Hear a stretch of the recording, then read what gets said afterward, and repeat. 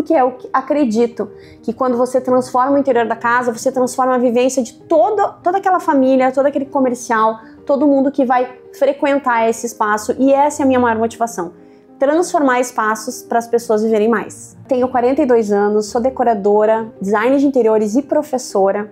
E eu fiz uma transição de carreira depois que eu tive os meus filhos. Estou há 20 anos no mercado de decoração e interiores e há 13 anos lecionando como professora. Eu sou do interior do Rio Grande do Sul. Meu primeiro trabalho foi como babá. Então eu tenho uma história de superação. Então passei por várias empresas. Trabalhei depois em banco, passei num concurso, descobri ali no banco que não era o que eu queria para minha vida.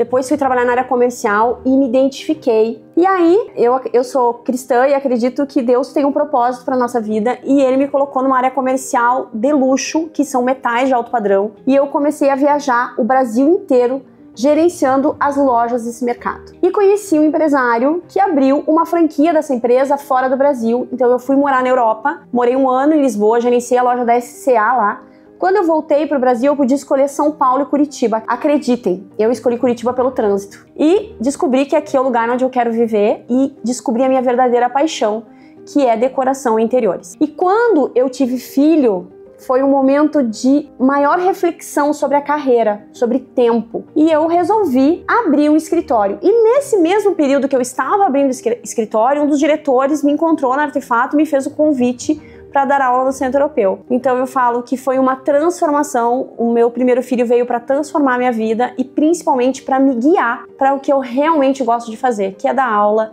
e projeto de interiores e decoração. A transição de carreira, eu estava numa empresa com salário bom, né? Eu era gerente de uma multinacional e eu resolvi abrir meu escritório. Mas o maior desafio é você sair do CLT, onde você tem uma garantia de salário, né, plano de saúde e tudo, e encarar um escritório onde você tem vários desafios e nem sempre você se sente preparada para isso. Teve vários momentos na carreira que eu pensava, será que realmente é isso que eu tenho para fazer? Mas eu tenho um oxigênio diário, que são os meus filhos, que são minha maior motivação.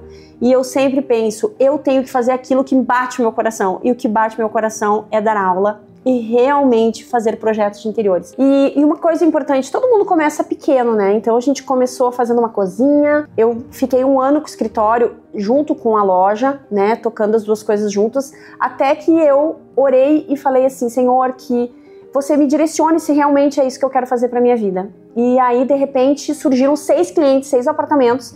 Foi uma loucura, tá, gente? Porque você sai ali de uma sala, de um, dois quartos, reformas pequenas e vieram seis projetos novos e foi o boom realmente do escritório. E hoje a minha maior motivação é o quê? Os meus clientes me indicam cliente, que me indicam cliente e vira uma roda que movimenta o escritório. Eu acho isso, chega a me arrepiar, gente, porque eu acho isso, né, magnífico. E uma coisa importante, né? Eu já participei de uh, mostra, participei de Casa Cor. Eu acho que Casa Cor foi um divisor de águas que mostra que você realmente tem um projeto diferenciado para mostrar e tem talento para fazer uma mostra desse nível. Eu assino todos os anos o Festival de Teatro de Curitiba, que valoriza a nossa cultura, né, que entende que a arte faz parte da nossa vida. Então, todas as salas comuns e de imprensa do festival é assinado pelo meu escritório.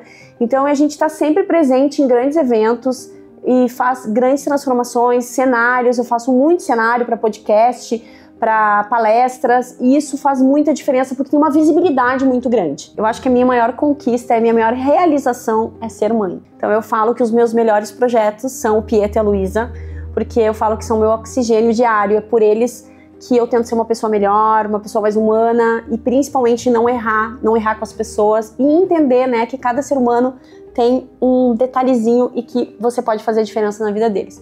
Mas assim, eu acredito que estou vivenciando a melhor fase da minha vida. Eu acho que depois dos 40, nós como mulheres, a gente também se sente mais segura, já sabe o que quer, já tem um relacionamento mais estável e você consegue ter a maturidade de enxergar as oportunidades como únicas e realmente se dedicar àquilo. Então eu estou fazendo grandes apartamentos, grandes empreendimentos, reformas em condomínios, né? a gente está fazendo Alphaville, Ecoville, então vários lugares na cidade. Hoje o nosso escritório está com seis projetos de alto padrão e isso é uma grande conquista. Como construir uma carreira de sucesso? Vamos pensar assim, gente, que primeira coisa, escutem o coração de vocês. O que que vocês fazem em casa ou quando vocês saem a lazer que dá prazer?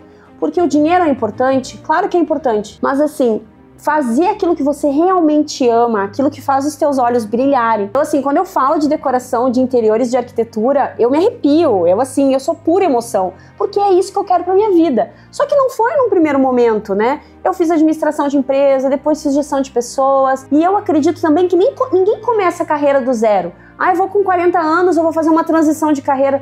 Gente, tudo que você já teve de experiência na vida vai agregar na sua carreira hoje. Então, primeira coisa, escute seu coração. O que você realmente gosta de fazer? Entenda se você gosta de pessoas. Se você não gosta de pessoas, tá tudo bem também. Você pode escolher uma outra carreira. Mas o que a gente tem que ter é foco, disciplina e muita dedicação. Eu assim, eu acordo super cedo, eu não durmo cedo, durmo tarde mas as pessoas podem falar: ah, Jordana, mas é. Você não se sente uma pressão? Porque todo mundo fala: ah, acho que você trabalha muito. Eu sou tão feliz que eu acordo de manhã pensando em tantas coisas que eu vou fazer e que eu vou transformar e que eu posso mudar na vida das pessoas. E isso é a minha maior motivação. Então, se você quer ter uma carreira de sucesso, é isso, gente. É disciplina, tá? Muito estudo, muita dedicação, mas principalmente escutem aquilo que vocês realmente gostam de fazer.